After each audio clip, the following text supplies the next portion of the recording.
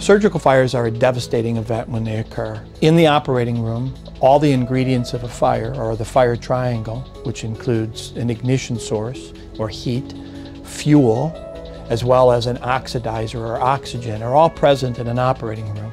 Surgical fires are considered never events by most safety organizations. And by never events, we mean they should never occur. And they should never occur because if proper steps are taken, they are completely preventable. The absolute key to fire prevention is education. The problem is that in an operating room setting, you have three different types of professionals. You have surgeons and doctors, you have nurses, and you have operating room technicians. Unfortunately, hospitals, while they take seriously the idea of fire prevention when it comes to their nurses or their operating room techs, and they regularly train them, they frequently ignore the role of the surgeon or the anesthesiologist in preventing fires in an operating room.